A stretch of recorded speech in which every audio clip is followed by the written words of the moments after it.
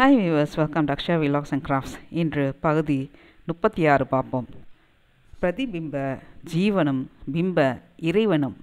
ஒரு மூடன் தன் அழகை காண ஒரு கண்ணாடியில் தன் முகத்தை பார்த்து கொண்டான்.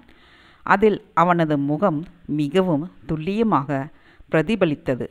ஆனால் தன் முகம் பார்ப்பதற்கு அவலட்சணமாக இருப்பதாக உணர்ந்தான்.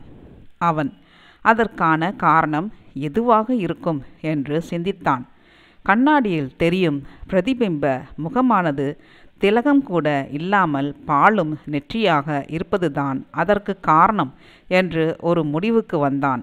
தன்னை அழகுபடுத்தி கொள்ளும் எண்ணத்தில் கண்ணாடியில் தோன்றிய முகத்திற்கு குங்குமம் வைத்தான் அவன். அப்படி குங்குமம் வைக்கும்போது அவன் தலை சிறிது அசைந்தது. அதனால் குங்குமம் வைத்த இடம் நெற்றியை விட்டு தள்ளிச் சென்றது. உடனே பிரதிபிம்பத்தின் நெற்றியில் இருந்த குங்குமத்தை சரி செய்வதற்கு முயன்றான். மீண்டும் அவன் தோல்வியையே அடைந்தான். இப்படி பலமுறை தோல்வியடைந்த பிறகே பிரதிபிம்பத்தை நேரடியாக அழகுபடுத்த முடியாது என்பது அவனுக்கு புரிந்தது. பிறகு குங்குமத்தை எடுத்து தனது நெற்றியிலேயே இட்டுக்கொண்டான். என்ன ஆச்சரியம்? உடனே கண்ணாடியில் பிரதிபலித்த முகத்திலும் அவன் நினைத்தவாறே சரியான இடத்தில் குங்குமம் பிரகாசித்தது.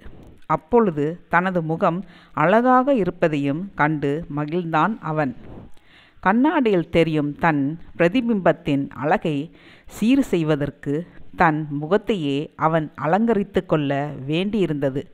அதேபோல் நாம் சந்தோஷமாய் இருக்க வேண்டுமாயின் நாம் இறைவனை பூஜிக்க வேண்டும். இதற்கு காரணம் நம் சாஸ்திரங்களில் கூறப்பட்டவாறு இறைவனுக்கும் ஜீவனான ஒரு தனிப்பட்ட மனிதனுக்கும் உள்ள சம்பந்தம் முறையே முகத்திற்கும் அதன் பிரதிபலிப்பிற்கும் உள்ள சம்பந்தமே ஆகும்.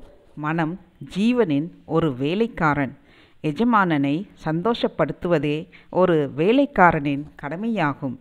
மனம் தன் எஜமானனான ஜீவனை எப்படி சந்தோஷப்படுத்துகிறது?